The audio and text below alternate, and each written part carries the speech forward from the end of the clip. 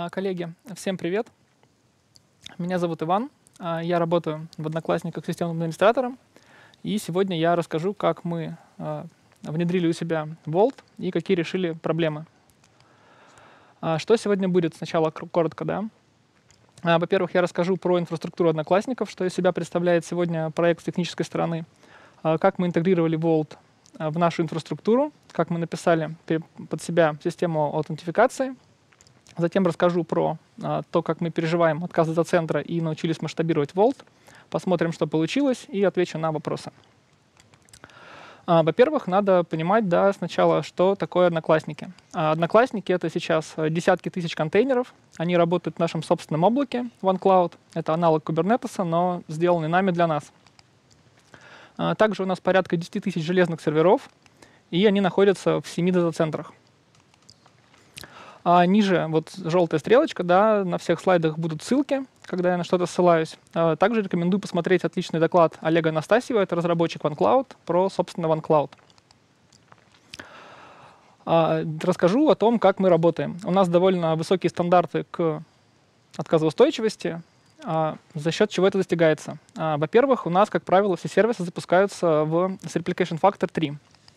А, это значит, что мы запускаем а, контейнеры или инстансы одного приложения в нескольких дата-центрах. И это позволяет, например, переживать отказы дата-центра. А, плюс мы периодически проводим тесты отказа дата-центра, выключаем дата-центр и смотрим, что все работает хорошо. Это позволяет, например, заранее запасаться ресурсами, да, потому что когда у вас приложение в одном цоде выключается, трафик идет на другие приложения. Мы это все заранее закладываем. И при запуске нового сервиса мы также обязательно, перед тем, как он попадает в продакшн, тестируем а, без одного ЦОДа работу в час пик, чтобы понять, достаточно ли ресурсов. Также важная вещь — это плавное применение изменений. А, все наши новые фичи, например, новая версия приложения или изменения в конфигах, мы выкатываем в продакшн плавно. Что это значит? Сначала, например, мы выкладываем код на один инстанс, один контейнер или там один сервер, затем на группу серверов — если все хорошо, выкладываем на дата-центр и потом раскатываем на весь продакшн. Это позволяет нам локализовать проблемы. Э, если какие-то проблемы есть, э, замечать их на, ран на ранних этапах. И, соответственно, если что-то ломается, то ломается только маленький кусочек продакшена, и мы не складываем э, весь наш большой прод каким-то комитом. О том, как мы работаем, также есть доклад Димы Самсонова, можно почитать. А, давайте непосредственно к теме да, доклада а, про систему управления секретами. А, что вообще мы для себя, какие ставили задачи, когда выбирали, что это будет за система? Ну, в принципе, требования все были понятны. Это шифрование, аудит, э, стандартные вещи, которые мы хотим от системы управления секретами. Мы хотели, чтобы был удобный доступ как для людей, так и для скриптов, то есть должен быть какой-то API, консольная утилитка и так далее. Ну и, естественно, мы хотели, чтобы все наши стандарты, про которые я говорил до этого, были соблюдены. А, в общем, выбирали мы недолго, потому что особых альтернатив э, HashiCorp Vault, э, мне кажется, на рынке нету. А, мы взяли Vault. А, де-факто он является в индустрии стандартом. У него есть замечательная поддержка от разных вендоров. То есть если у вас есть какой-то продукт, GitLab, TeamCity, Ansible, все что угодно, скорее всего, там уже будет какая-то поддержка от HashiCorp для этого продукта. А также это open source. А это нам очень сильно помогло и пригодится. Про это я расскажу дальше. Ну, естественно, есть отличный, отличная консольная утилита, хороший веб-UI для людей и REST для каких-то скриптов. Это все замечательно, но некоторых вещей нам не хватало. Об этом мы поговорим. А в первую очередь, нам, чтобы мы не взяли, нужно было бы в любом случае сделать интеграцию с нашими системами. Также мы немного доработали выпуск сертификатов, научили Vault отказу ЦОДа и масштабирование. Его из коробки тоже нет. А, про это вот, собственно, и поговорим. А, давайте сначала посмотрим вообще основы, как вообще прочитать секрет из Vault. А, что для этого нужно? Чтобы прочитать секрет, вам нужно, чтобы у клиента был Vault токен. Где взять Vault токен? Для этого нужно аутентифицироваться в Vault. И самый интересный вопрос, как же тогда аутентифицироваться? То есть э, здесь получается классическая проблема с курицей и яйцом — вам нужен какой-то секрет, чтобы получить доступ к секретам. Как правило, эта проблема решается с помощью какой-то сторонней системы, которой мы доверяем. Обычно это CI-CD-системы, либо Configuration Management. то есть какой-то share Ansible э, и так далее, какая-то система, которая уже заранее кладет вам в контейнер на сервер какой-то секрет, с помощью которого вы уже авторизуетесь в Vault, например, или вашу систему. А немножко про архитектуру а, Vault, чтобы понимать. Vault — это модульная система, а, здесь есть разные кирпичики, да, и мы можем некоторые из этих кирпичиков заменять на свои, то есть там можно писать плагины, про это поговорим позже. И сейчас мы посмотрим вот на кирпичик, который обведен кружочком, а, способы аутентификации. А как, собственно, да, еще раз, как аутентифицироваться? Есть, э, есть, есть разные клиенты, которые мы хотим, чтобы работали с Vault, чтобы, с ним, чтобы в него авторизовывались. А, это люди и какие-то роботы, скрипты, то есть контейнеры, сервера. с людьми все понятно. У людей есть логин с паролем, и они с помощью LDAP могут авторизоваться в Vault. То есть секрет, который есть для доступа к секретам у людей, это их логин с паролем. У контейнеров и серверов такого секрета нет. Соответственно, нужно как-то им авторизовываться и какой-то токен им туда а, доставить. А, мы взяли для этого на картинке это огромное количество способов для аутентификации Vault, которые поддерживаются из коробки. А, там есть, например, GVT метод. Про это мы сейчас поговорим, почему мы взяли именно GVT. А, пару слов о том, что такое вообще GVT, чтобы понимать, о чем разговор. А, GVT — это некий набор, это строка, разделенная тремя точками, по сути. А, слева он, как он выглядит изначально, справа декодированный вид. У него есть заголовок, три части. Заголовок, какая-то полезная нагрузка — это JSON, в который мы можем положить любую нужную нам полезную информацию. И подпись. Если вы хотите что-то положить в GVT и передать, вы берете какие-то данные — эти данные подписываются приватной частью ключа, приватным ключом, и получается GVT. Значит, дальше, если вы хотите прочитать информацию из GVT, вы можете, в принципе, ее просто прочитать. Это не шифрованные данные, а, но если вы хотите убедиться, что это именно тот GVT от того человека, который вы ожидали, то можно проверить а, публичной частью ключа подпись, то есть убедиться, что это именно тот GVT. Давайте посмотрим э, по сторонам, да, что у нас было вообще из наших систем э, в Одноклассниках, э, с чем нам предстоит работать. А, во-первых, у нас есть SIMDB, это классическое понятие Configuration Management Database. Это специальная база данных, в которой хранится информация про нашу инфраструктуру. Например, любой сервис, любой сервис, сервер-контейнер — все что угодно. Про это есть информация в CMDB. Там есть имя сервера, в какую группу входит сервер, настройки сети, в каком он стоит дата-центре, в какой стойке и так далее. То есть информация про инфраструктуру. Как правило, в том или ином виде такие базы есть э, в каждой компании. Также у нас есть огромное количество наших серверов. А, возьмем какой-нибудь сервер и посмотрим, как вообще мы его готовим к работе, как происходит установка операционной системы. CMDB а, по PXE, как обычно, деплоит сервер ставится операционная система, и во время установки на сервере генерируется SSH-ключ. А также после установки э, публичная часть ключа отправляется в CMDB. То есть у нас в CMDB имеются все публичные части ключей от наших серверов. Помимо э, хардвера серверов железных, у нас еще есть OneCloud. Это наше облако.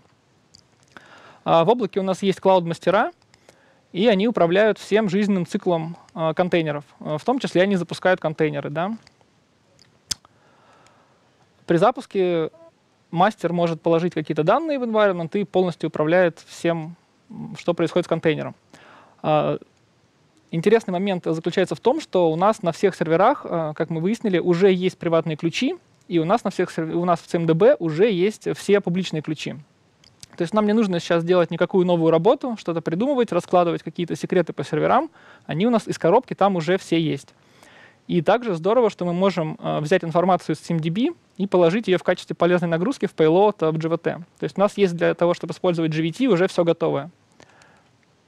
Собственно, поэтому секрет для доступа к секретам мы решили взять GVT. И доверенные источники в данном случае это SIMDB и мастера облака. Таким образом решается для нас а, проблема с курицей и яйцом. А, давайте теперь посмотрим на плагин GVT, как он э, из коробки, что из себя представляет. Да? И почему мы решили его немного изменить для себя. А, в первую очередь там есть только три способа проверки подписи. Подпись можно проверить по-разному. А, первый способ — это static case. Это статический набор ключей. Этот способ очень неудобен, потому что вам придется поддерживать на уровне конфига для Vault весь этот список. То есть у нас 10 тысяч серверов, нам нужно положить 10 тысяч публичных ключей в один конфиг, ну, как-то его там обновлять, э, заменять ключи и так далее. А JSON Web KeySet — это ровно то же самое, только вам нужно класть не в конфиг, а на какую-то ссылочку. Да? По ссылке Vault будет ходить забирать эти ключи, и тоже это один большой список. У ICDC Discovery метод получше, но здесь нужен умный клиент, чтобы ходить по ссылкам. То есть, э, когда, как работает ICDC, а, Vault генерирует ссылку, клиент нажимает на ссылку и после этого получает токен. Для этого нужен клиент с какой-то логикой. А мы не хотели, чтобы клиент был сложным. А, также вот это очень интересное место, да, сомнительный механизм довольно проверки подписей был в стандартном плагине. А, если вы видите, здесь цикл, в котором просто перебираются GVT-ключи. То есть наши 10 тысяч ключей публичных, которые бы там лежали в конфиге, они просто перебираются циклом for, пока не найдется нужный. Вот. Нам этот механизм не очень понравился.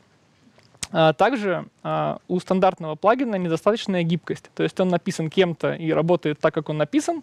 Мы бы хотели добавить некоторые свои вещи. Например, со стандартными подходами вам нужно для каждого случая, если вы хотите разный набор политик, про политики чуть позже поговорим, а в токенах иметь, вам нужно а, каждый раз создавать новые роли. И политики, они зашиты в роли. То есть, э, если, допустим, вы хотите что-то изменить, клиенту может потребоваться заново авторизоваться, аутентифицироваться в Vault, и, собственно, управлять, гибко управлять набором политик вы не можете. А мы хотели это делать. И, собственно, мы решили сделать аутентификацию сами под себя. Собственно, вот еще раз, да, сейчас вот мы будем говорить, как мы поменяли этот э, квадратик. Э, давайте посмотрим, что такое Vault токен. Э, токен это такой, такого формата строчка, да, э, и можно посмотреть информацию про каждый токен. Э, здесь нас будет интересовать метаданные. Э, метаданные — это часть данных, которые можно зашить в токен, и с помощью них, например, можно логирование делать, то есть можно по этим данным потом искать по логам, по аудит-логам, смотреть, кто обращался к каким секретам и так далее. Сюда мы можем класть нашу информацию из CMDB. И политики. А, политики — это важная вещь, это, собственно, список политик, на которые мапится, на которые мапится данный токен. То есть данный токен получит вот такие вот политики. И сюда мы тоже хотим добавлять наши политики с нашими именами. А, как мы вообще храним а, политики? Что такое политика? Давайте посмотрим на какую-нибудь политику. А, во-первых, HashiCorp использует свой язык для этого, HCL, HashiCorp Query Language. А, мы посмотрели доклад, ниже есть ссылочка Юрия Шуткина из э, Тиньков, и нам понравилось, что они заменили HCL на YAML. Мы тоже решили так сделать. А почему мы так сделали? Потому что у нас э, в продакшене есть, например, Ansible и много еще, где используется YAML. Довольно удобный формат. Не нужно будет учить людям HCL. А, плюс в некоторых местах э, использует э, еще JSON. И это неудобно, потому что вам нужно в одном месте писать в JSON, в другом в HCL. У нас все в YAML. А, собственно, на экране видно, как выглядит политика. А, здесь мы видим, что она называется SRVD 1.3.4. Да? И ниже это имя используется в путях. То есть мы здесь видим, что сервер какой-то с именем, например, SRVD 1.3.4 имеет доступ к секрету с таким тоже путем. То есть мы можем эту политику назначить этому серверу, и он получит доступ к секретам, которые указаны в строчке pass.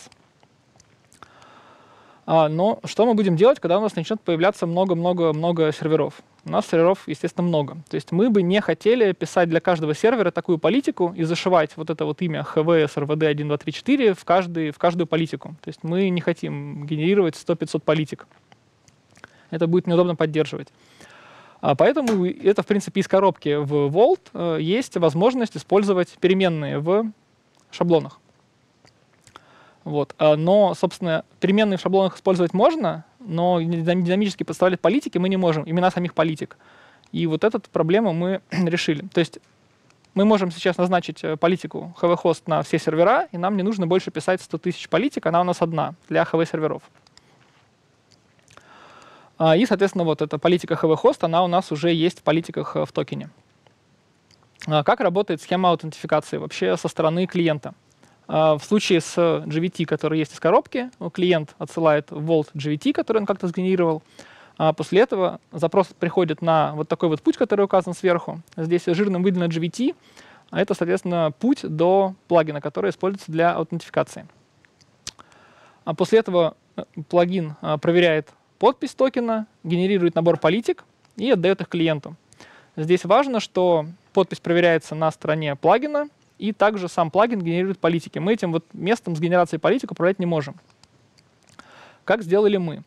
А, мы написали свой плагин, а, клиент отправляет GVT также, и запрос уже идет на, а, на путь OGVT. Это наш плагин. Он уже ничего не проверяет, он просто отправляет JWT на проверку в наш специальный сервис для валидации. Этот сервис имеет в себе все данные из CMDB, то есть он знает про нашу инфраструктуру, и он генерирует э, нужные нам политики по нашей логике и отдает их в Vault, и Vault уже снова добавляет политики в токен и отдает токен клиенту. То есть здесь мы уже проверяем подпись на стороне нашего стороннего сервиса, и также этот же сервис генерирует политики. И мы этим механизмом генерации политик и логикой можем легко управлять. А что из себя представляет плагин, э, который мы написали? Это Nago, естественно, плагин. Э, плагины пишутся на гошечке для Волта. Он основан на готовом стандартном плагине GVT, который уже есть от HashiCorp. Мы добавили просто в него некоторую свою логику, изменили вот способ проверки подписей и добавили наши метаданные, которые мы получаем из сервиса, мы их добавляем в токен и добавляем метаданные и политики. А, сам этот сервис представляет из себя код на Python, это Python и библиотека IO Этот сервис имеет в себе все данные из CMDB и может ими пользоваться. Он проверяет GVT, и, соответственно, генерирует политики по нашим правилам. Откуда появляется GVT? Мы все время про него говорим, но он откуда-то должен взяться. То есть откуда у клиента GVT? А если вы используете Vault и Python, то вы наверняка слышали про библиотеку Hvak. Это самая известная open-source библиотека для работы с Vault, с Vault на Python. А у нас админы все пишут на Python, поэтому, естественно, мы взяли эту библиотеку, а, добавили в нее наш функционал, и получилась библиотека OCPyVault. Так мы ее назвали. Эта библиотека генерирует GVT, то есть мы добавили логику по генерации GVT по нашей, по нашей логике. Мы ставим на все контейнеры и на все сервера эту библиотеку по умолчанию, и с помощью нее написаны у нас все плагины и вся поддержка для инфраструктуры. То есть мы написали там lookup плагин для Ansible, написали поддержку для CF Engine. CF Engine — это наша система управления конфигурациями э, в духе Puppet и шефа. И также во всех скриптах мы используем OCPyVault. Если вы пишете какой-то скрипт, которому нужно попасть в Vault или какой-то сервис, вам не нужно самостоятельно писать логику для работы с Vault, вы просто используете библиотеку, она все делает за вас. Проходит аутентификацию, получает токен, и можно ходить читать секреты. А, как это все происходит? Да? А, рассмотрим опять два случая. А, сервера железные и облако. В случае с железными серверами сам сервер, сам сервер с помощью библиотеки OCPyVault генерирует а, JWT-токен и подписывает его приватным ключом. А, справа можно посмотреть э, на консоли вывод, как это работает. Да? Команда э, Vault Login — это как раз часть библиотеки OCPyVault Script. А, мы запускаем Vault Login. Здесь видно, что он читает приватный ключ сервера, соответственно, добавляет в него полезную нагрузку. Это то, о чем мы говорили, что можно добавить какой-то payload GVT. И после этого проходит аутентификацию в Vault, получает набор политик для конкретного хоста, которые ему разрешены. И вот здесь как раз мы можем добавить любые политики. И получает Vault-токен. А в случае с облаком а сервер, контейнеры, они сами GVT не генерируют, это делает мастер облака. То есть мы говорили, что мастер управляет работой контейнеров, мастер запускает контейнеры, соответственно, мастер при запуске контейнера может добавить ему в переменные окружения, э, например, уже готовый токен.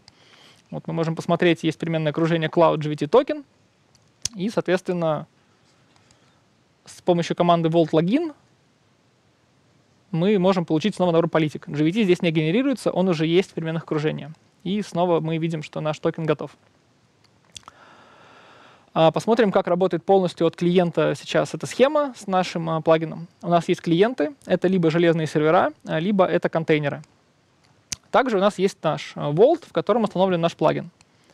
Клиент отправляет GVT-шку в Vault, и здесь э, можно заметить, да, с какими данными уходит GVT. Например, здесь мы видим вот имя сервера SRVK 1234. Это полезная нагрузка. Дальше, значит, мы передаем GVT в наш сервис проверки, и он генерирует политики. Здесь тоже важно обратить внимание, что мы на вход э, в payload дали только имя сервера. Но в политиках мы уже получили, например, вот Jira ODKL, да, имя группы, увидели, что это сервер maintenance, что это HV сервер и имя сервера. То есть мы добавили туда некоторые наши политики, которые зависят от нашей инфраструктуры. То есть мы сразу можем этому серверу, зная только его имя, выдать политики, что это maintenance сервер и что это Jira. Это будет автоматически все сделано. И уже Vault токен с этими нужными политиками отдаем обратно клиенту. А, как мы применяем политики, давайте скажу пару слов. А, есть админ, который хочет добавить политику или отредактировать. А, он это делает и делает комит в Git. После этого, естественно, коммитить мастер нельзя, все безопасно, мы создаем бранчики, после этого есть pull request, какой-то человек проводит ревью, опрувится ревью, после этого приходит система CI-CD, здесь, кстати, у нас довольно много происходит проверок. Там есть всякие линтинги.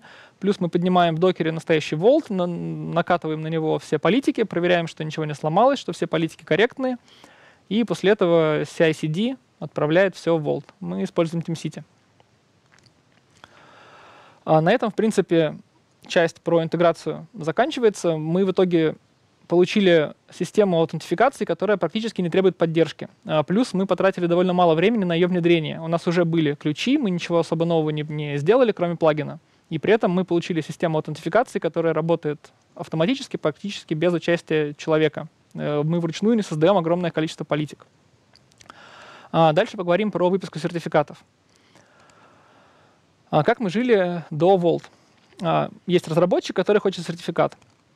Разработчик пишет задачу в Jira, после этого приходит админ, генерит CSR, кладет ее в Jira, после этого приходит безопасник, э, подписывает CSR, берет ее из Jira, подписывает, кладет туда ключ, э, готовый сертификат. А потом приходит опять, наконец, админ, берет из Jira сертификат, э, приходит админ, кладет сертификат а, в Git, и только после этого Git раскатывает это на сервера. Процесс, очевидно, долгий, неудобный, да, в нем участвуют три человека разных, в этом процессе полно ручных операций, и все это долго. То есть каждый этап занимает время, человек может пойти на обед, э, все что угодно. А что мы сделали? А, во-первых, э, посмотрели да, на то, что Volt э, умеет выписывать сертификаты. Это отлично. Также в сертификатах можно использовать шаблоны. Это тоже отлично. Мы можем не писать много политик на конкретный хост, мы можем поставить звездочку, например, звездочка там example.com, и тогда такая политика позволит выписывать клиенту, у которого эта политика есть, любой сертификат в зоне example.com. Но что было плохо, а, нельзя, к сожалению, использовать было переменные а, в этих политиках. То есть мы говорили, что мы можем подставлять любые данные а, в политике, мы можем использовать наши имена групп, имена серверов и так далее. И вот эти переменные нельзя было использовать в шаблонах конкретно для доменов. А мы бы хотели это использовать, э, потому что если мы возьмем какой-нибудь наш сервис, да, рассмотрим, а, мы бы хотели, чтобы ну, на картинке слева жирным это адрес какого-то контейнера. И мы бы хотели, чтобы этот контейнер был доступен по разным именам. А, например, мы бы хотели, чтобы он был доступен по полному имени, то есть использовали бы переменную hostname. Да? Мы бы хотели, чтобы он был доступен по имени сервиса. За сервисом у нас скрывается огромное количество контейнеров конкретных. То есть мы можем использовать сервис, который мы знаем из CMDB, и мы бы хотели использовать имя дата-центра, в котором этот контейнер. То есть э, генерировать, по шаб... использовать переменные в шаблонах. Такого функционала не было. Значит, э, мы начали искать, ресерчить э, в интернете, на GitHub. Оказалось, что такой пиар уже был, там решалась похожая проблема. Пиар был немного недоделан, мы его доработали. Можно пойти посмотреть тоже по ссылочкам. И, собственно, теперь Vault э, умеет э, выписывать, э, использовать переменные в шаблонах для выписки доменов. Использовать переменные в шаблонах. Политик для выписки доменов.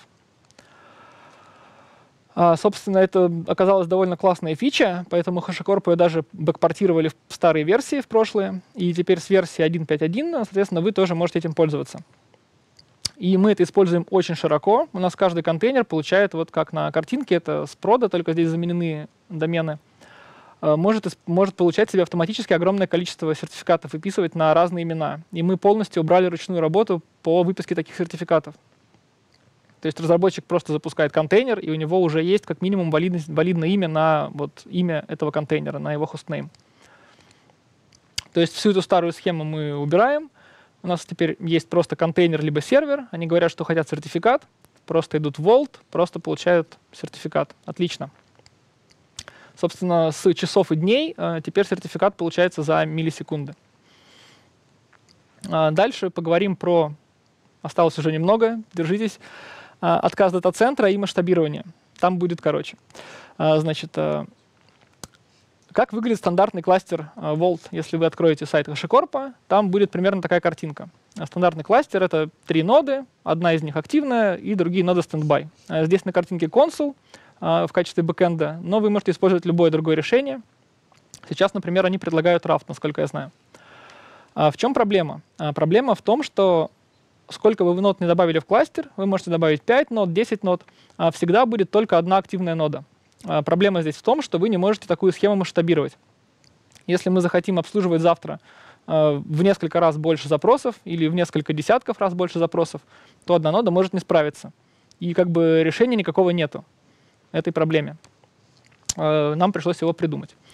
Что у нас было сначала? Изначально у нас был один сот, в котором была классическая схема с консулом в качестве бэкэнда и активной нодой. А, но мы решили поднять еще один кластер, да. А, теперь у нас два кластера. И между ними мы настроили репликацию. У нас был один кластер активным, второй кластер был standby 'ем.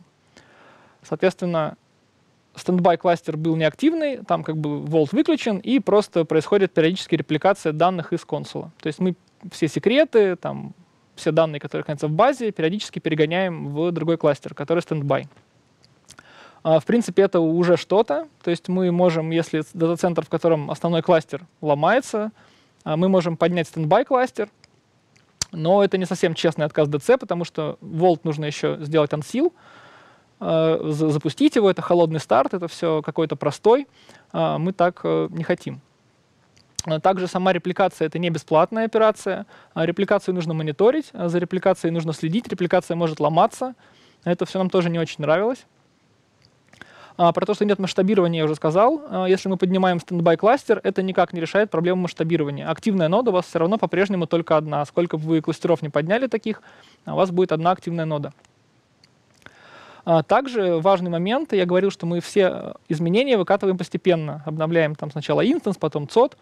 Если бы мы хотели обновить Vault в текущей конфигурации, то мы не смогли бы это сделать постепенно, потому что у нас только один активный кластер, мы можем его обновить сразу.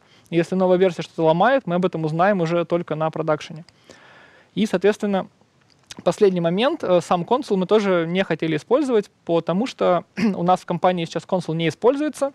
А Vault — это довольно критичная система, на ней очень много чего завязано, и мы не хотели внедрять новый, новую базу консул, э, ну, начинать ее внедрение, вот, тратить на это время, хотели использовать что-то другое. А, есть ли решение этих проблем от HashiCorp? А, отказ дата-центра, масштабирование? А, решение есть. Решение заключается в том, что нужно купить Enterprise-версию.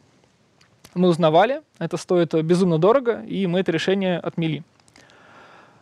Давайте теперь подумаем, может быть, мы можем все сделать сами. Чтобы это понять, нужно разобраться, как Vault хранит данные, потому что в первую очередь масштабирование, оно напрямую связано с хранилищем, то, тем, что под капотом у Vault. Vault — это просто приложение на гошечке бинарник, и он ходит в какой-то storage.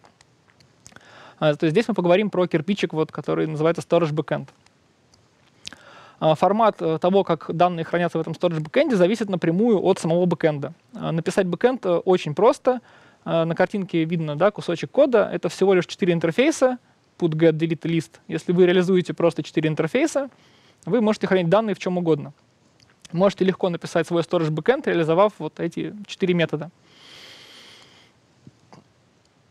А, давайте посмотрим какой-нибудь пример. А, например, для самый, самый простой, самый простой storage — это file system. Если вы сделаете там docker run vault, он у вас запустится по-моему, с memory хранилищем, но можно в конфиг добавить файл system и запустить его просто через docker run и посмотреть на, вы видите то же самое примерно, что у меня на картинке. А, это структура данных, как Vault хранит э, на файловой системе данные для storage file system. Здесь можно заметить, да, что есть имена у директорий и видна какая-то структура. А мы начали смотреть на эту структуру. И здесь интересный момент в том, что есть некоторые директории, да, грубо говоря, мы назовем их приватными данными. Это данные, которые мы хотим, чтобы были уникальными в каждом кластере. А, что это значит? А, в каждом кластере есть свой лидер. А, то есть он выбирается, активная нода, она выбирается в рамках кластера. Также у каждого кластера есть, например, свои счетчики. То есть э, там для Prometheus метрики, например. То есть когда мы, клиенты ходят в кластер, э, метрики эти уникальные для каждого кластера. И вот эти данные, они как бы э, разные для разных кластеров. Мы не можем держать, мы не можем держать их вместе. А при этом есть такие данные, которые мы хотим, чтобы были общими. Например, это сами секреты. То есть если мы хотим, чтобы у нас было несколько активных кластеров, то мы должны при обновлении секрета в одном дата-центре получить его сразу же в других кластерах. То есть э, эти данные должны быть общими. И здесь как раз возникает парадокс, а, что нам, с одной стороны, нужны разные данные для разных кластеров, а с другой стороны, нам нужны одинаковые данные для разных кластеров. Как же, собственно, такое сделать? Оказалось, что мы, в принципе, не первые с такой задачей, мы тоже пошли, естественно, ресерчить, да, а, нашли а, комментарии от 2015 года на GitHub, а, там ребята решали похожую проблему, и там разработчик, один из разработчиков из HashiCorp, который вот на картинке инженер, он, соответственно, как раз подсказал, какие конкретно пути можно использовать которые нужно, чтобы были общими, а которые нужно, чтобы были приватными. Э, нам эта идея понравилась. А, значит, дальше в 2018 уже году э, была заведена еще одна issue, которая вот называется Need Beta Story for как раз-таки Multiply Data Center. Э, ровно то, что мы хотим, да. И там уже тот же самый инженер спустя три года ответил, что покупайте Enterprise. То есть эта задача закрывается и покупайте Enterprise. Но идея нам понравилась очень сильно, мы за это зацепились, за то, что разные данные можно по-разному положить. И, собственно, идея была вообще очень простая. Мы просто можем взять разные данные, которые мы знаем, вот эти пути, да, и положить их просто в разные таблички в одной базе данных. А, базу мы, конечно же, сразу взяли Cassandra. Ниже есть прекрасный доклад Олега Анастасьева про то, как мы используем Cassandra. У нас очень много Cassandra, мы ее любим и умеем готовить. Поэтому мы взяли Cassandra. Также был готовый бэкэнд уже для Vault, Storage Backend, написанный для Cassandra. Мы его дописали. То есть, грубо говоря, там есть какой-то if, Storage Backend мы можем написать сами, мы можем вот эти интерфейсы get, lead, list, put, delete описать свои. Если мы получаем в get какие-то данные из нужной директории, то мы просто их кладем в другую табличку, условно. И внезапно это сработало. То есть это, это работает. А, но все было не так гладко. А, был некоторый ряд проблем с Cassandra плагином вот этим. Я сейчас про них быстренько расскажу. А, плагин не работал с нашей версией. Это решилось очень просто. Там используется библиотека GoSQL. Она довольно сырая, она не работала с нашей версией. Мы просто обновили версию, отправили pull request э, в HashiCorp, они его приняли. Теперь все хорошо. также у плагина довольно классная документация, в кавычках, да, классная. Какой бы вы ожидали тайм-аут по умолчанию, спросил бы я, если бы это была офлайн конференция э, с таким параметром. Э, то есть здесь видно, что connection timeout по умолчанию 0, и 0 — это какой-то тайм-аут. То есть я спрашивал других людей, э, все, все отвечают, что 0. Э, что тайм-аут будет бесконечным, со значением 0. Э, но это неверно, тайм-аут будет 600 миллисекунд. А, потому что мы нач... у нас были проблемы, а, в каких-то случаях у нас мы получали тайм-ауты от базы, пришлось покопаться в коде в GoSQL, и там, собственно, мы нашли быстренько ответ, что там за хардкодное значение 600 миллисекунд. Также библиотека некорректно работала с кластером Cassandra. А, Cassandra — это, естественно, кластерная база. У нас она отказоустойчивая, кластерная, в ней много нод. Если мы теряем одну ноду, кластер спокойно работает дальше, нода включается, выключается, там догоняет данные, никаких проблем с этим нет. А, но для того, чтобы это работало, на стороне клиента нужна поддержка в драйвере, то есть нужно передать правильные настройки, правильный, в том числе retry policy. И плагин, который был из коробки уже написан, он этого всего не умел. А, мы научили его правильно работать с Кассандрой, правильно настроили, настроили policy, там поправили еще мелкие баги и, собственно, тоже отправили PR в HashiCorp. А, пару слов еще буквально о Кассандре. Что такое Кассандра? Это, как правило, ее представляют э, в виде кольца, и в этом кольце есть э, ноды. У нас, как правило, эти ноды тоже располагаются в разных цодах. То есть сама Кассандра, она из коробки, и у нас в том числе она отказоустойчива. Дальше я буду использовать вот такой вот логотип, и мы будем считать, что это кластер Кассандры, и он отказоустойчив. А, что у нас получилось? У нас есть дата-центр с волтом, там есть активный, а, активная нода и стендбай ноды, классический кластер. И это все ходит в нашу Кассандру через наш э, backend плагин, который мы написали с нашей логикой про таблички. И также у нас есть второй кластер, который также ходит в эту же самую базу. И сколько угодно еще кластеров. Да? То есть мы сейчас получили несколько активных кластеров Volt. У них у всех одинаковые данные. Собственно, то, чего мы добивались. Если у нас отказывает дата-центр, никаких проблем, э, мы можем теперь спокойно переживать отказ сода. А, почему это так работает? Давайте глянем, как проходит трафик от клиента до Vault. Есть клиенты, а, контейнеры, сервера, люди, все что угодно. И есть справа кластер Vault в каком-то цоде. Также есть еще два других цода, параллельно с ним работающих. А, клиент идет на какой-то домен. У нас каждый клиент ходит в свой по умолчанию центр ближайший. Соответственно, это запрос DNS. DNS там есть health-чеки, и в ответ на запрос клиент получает какую-то IP-шку виртуальную. За виртуальной IP-шкой находится балансировщик, который health-чекает конкретные уже ноды Vault и отправляет трафик на живые ноды. Здесь, например, у меня в примере две ноды зелененькие, одна красненькая, и трафик пойдет только на зеленые ноды через балансировщик. А что происходит, когда сгорает дата-центр? А дата-центры иногда сгорают. У нас были пожары настоящие в цодах. Это, в принципе, случается. А, health check начинает не проходить, то есть DNS видит, что не отвечает а, виртуальный адрес. Он берет следующий там по приоритету, а, какую-то живую IP-шку. Эта IP-шка отдается клиенту вместо прошлой IP-шки. Ноды уже из, из другого цода также health чекаются через виртуальный IP с LVS серверов. И трафик спокойно уходит в живой дата-центр. То есть мы без проблем переживаем отказ цода, как нам было нужно. Соответственно, эту проблему мы тоже для себя решили. Ну и масштабирование здесь, в принципе, все понятно. А, если мы можем поднимать разные кластера Volt, мы можем поднять еще один кластер и сколько угодно кластеров. То есть если нам потребуется, это делается очень просто. У нас там контейнеры, все описано кодом конфигурация. Мы просто, если хотим, поднимаем сколько угодно. То есть задачу с масштабированием мы решили тоже. А что у нас получилось в итоге? А сейчас наш Volt выписывает порядка полутора тысяч сертификатов в сутки. А справа это график за последний месяц я взял, столбики это дни. А также мы читаем порядка 500 тысяч э, секретов в сутки. Есть э, график с временем запросов. Это не особо интересно, но видно, что они все моментально практически работают. То есть здесь 2,5 миллисекунды, да, среднее время ответа. И с Кассандрой тоже все работает быстро, там не выходит за пределы 20 миллисекунд запрос. То есть мы никаких проблем не испытываем. А, что я хотел вам сказать в конце. Это картинка по запросу, мотивационная картинка из Гугла. А, Volt — это отличный продукт. Нам очень понравилось с ним работать и продолжать работать. А, у него отличная, очень хорошая модульная а, структура, модульная архитектура, которая позволяет его модифицировать. И, собственно, мы избавили себя от огромного количества ручных операций, э, внедрив всю эту систему. И также мы экономим огромное количество времени людей и повысили безопасность э, в компании, потому что раньше нужно было как-то сложно делать безопасность, теперь безопасность есть из коробки, например, с теми же сертификатами. Не бойтесь э, смотреть код продуктов, с которыми вы работаете, если это open source.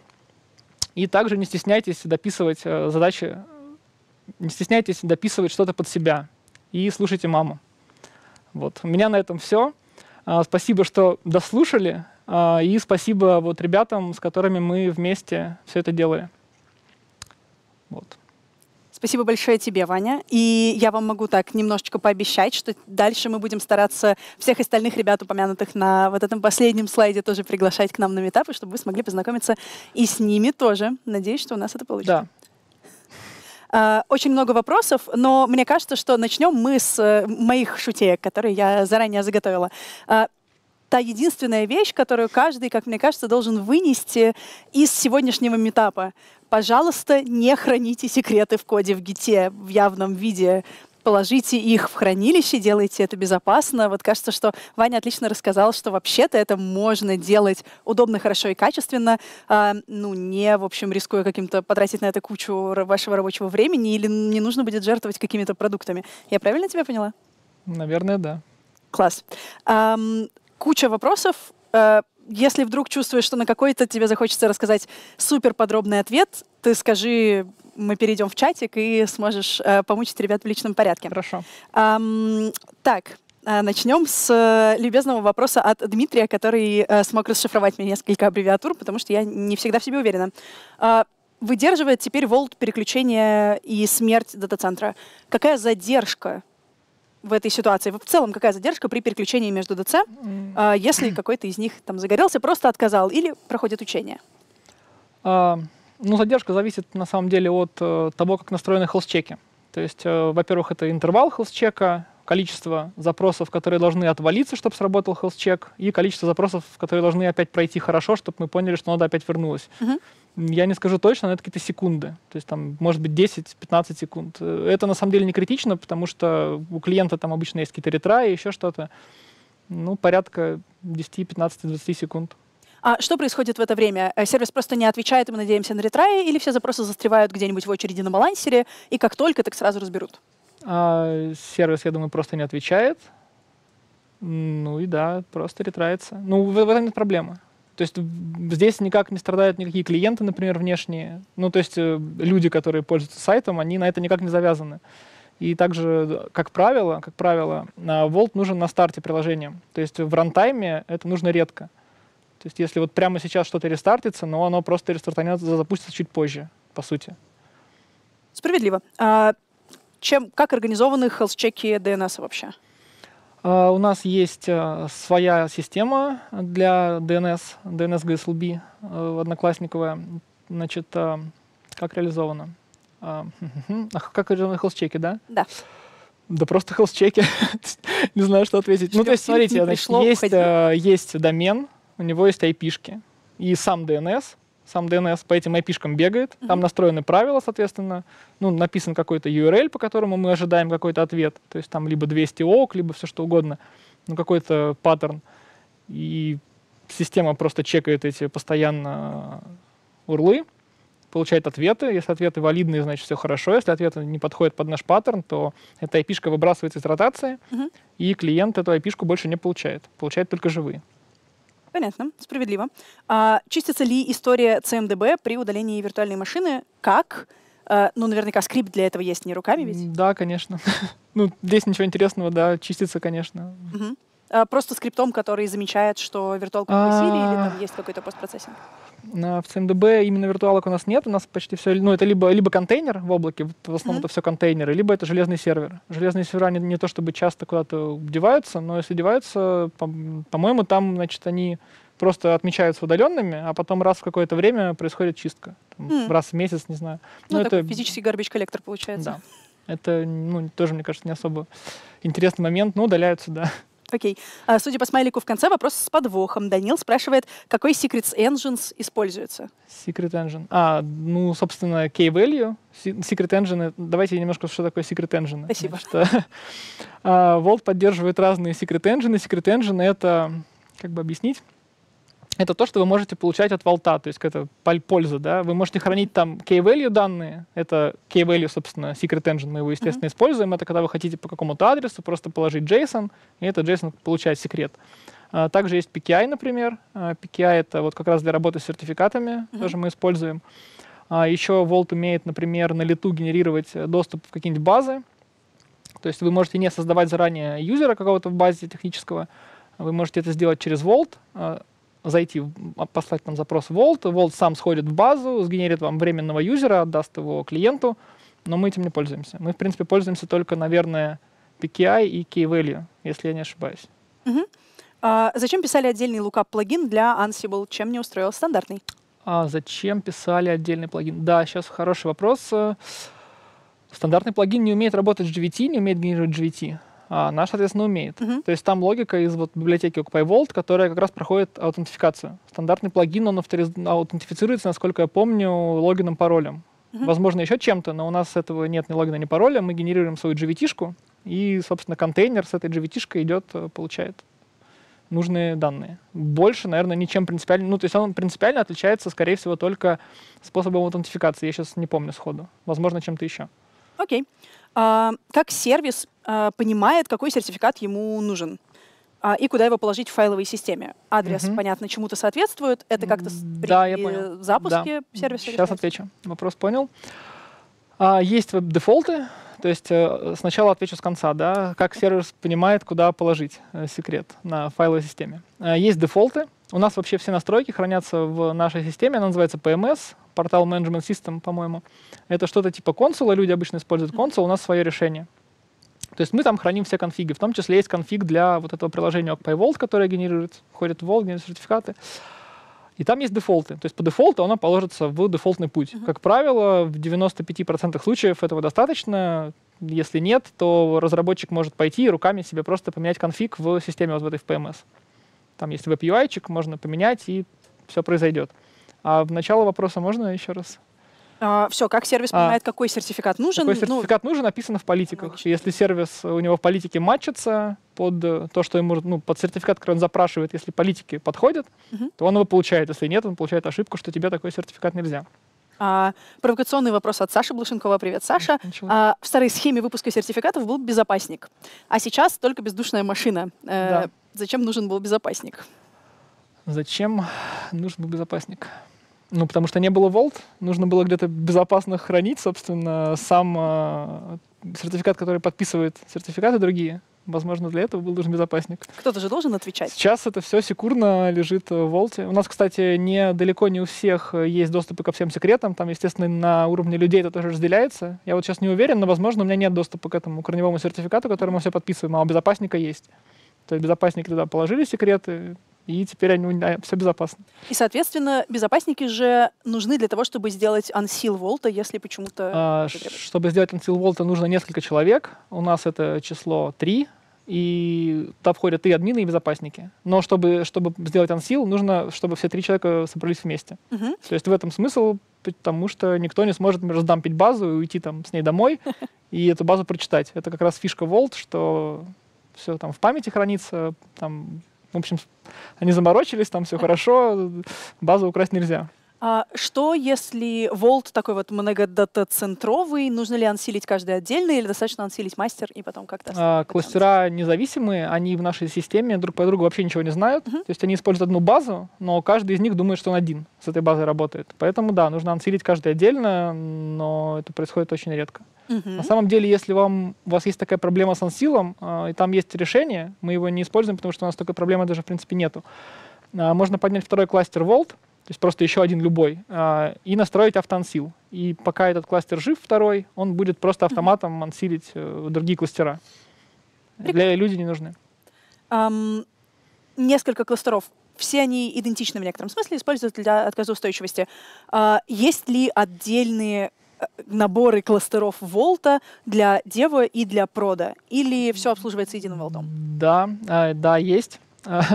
А, для, у нас есть отдельное облако, у нас нет, много продакшн облаков, по-моему, 7, ну вот 7 дата-центров, и там большие облака, вот как OneCloud, а, и бам-бам-бам. Да, есть DevCloud, и в DevCloud свой Vault. А, весь Dev входит на отдельный Vault. Mm-hmm. Um, сколько действует токен в целом срок жизни? Стандартный или средний? Я так понимаю, что тут в зависимости от назначения токена все-таки, ну, может, какие-то характерные способы сколько действует токен. Сейчас подумаем. Это, ну, надо, во-первых, уточнить, о каком конкретно токене речь. У нас mm-hmm. есть GVT-токены. Это вот те, с помощью которых мы проходим аутентификацию Vault. А, они живут э, какое-то короткое время, типа 12 часов, да. А, то есть э, GVT-токен, он протухает, mm-hmm. на старте он есть, вы получаете секрет, э, можете токен получить.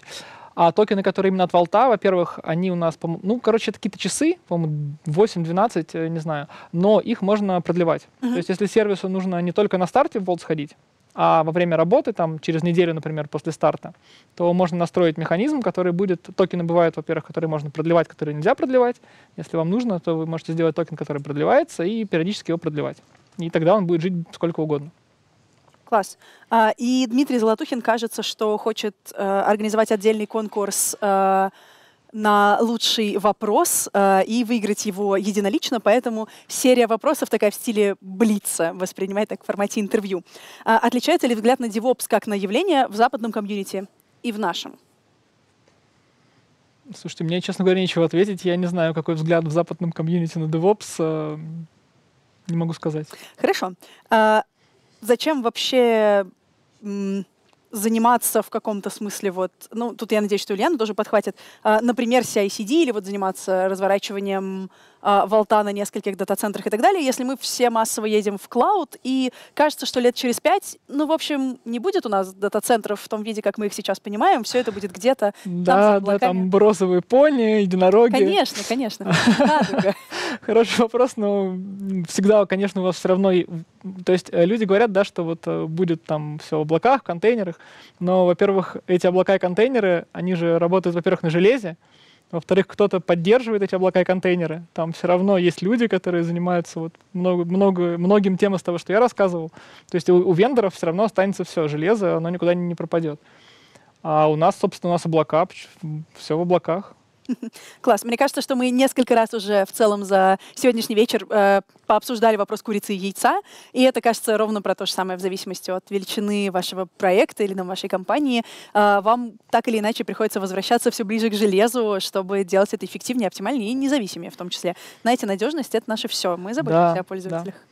Uh, и провокационный вопрос, очень он мне нравится, жалко, я не придумала задать его предыдущим спикерам. Uh, самая большая ошибка которую ты вспоминаешь? Ну вот, например, в процессе допилки волта до ваших необходимостей, в какой момент что-то пошло не так?